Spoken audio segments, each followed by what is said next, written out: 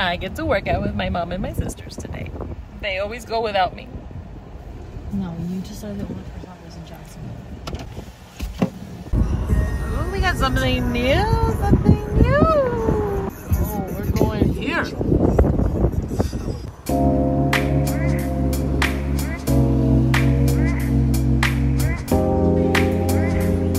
Morning, Mom.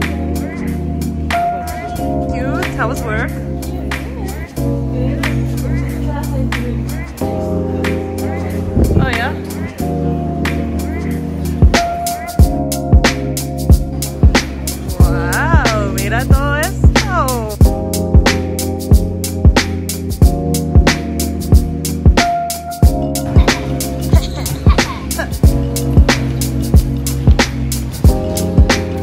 My god, it's humongous.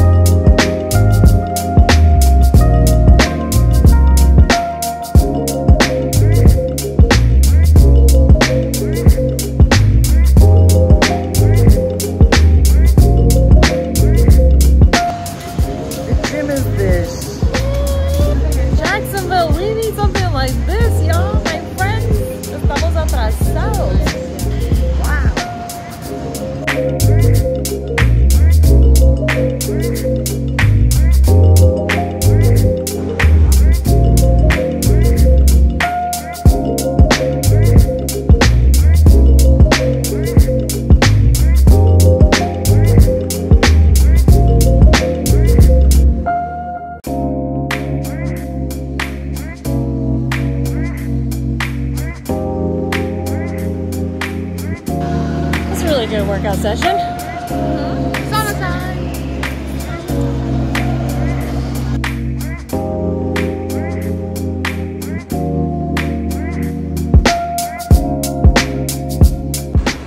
I love you. Yeah, good job. Yes, good. By mom. Say bye to the people. Bye, people!